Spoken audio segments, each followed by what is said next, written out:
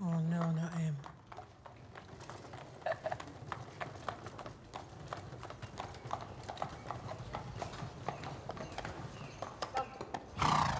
You've been excluded, Fenton. Easy I'm now. calling security.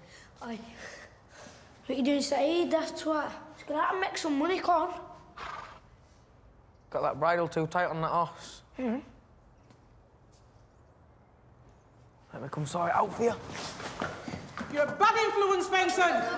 Go, go, go, go, and go!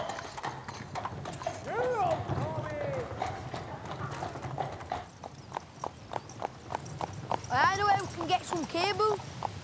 Our next horse go faster though, yeah? Yeah, man.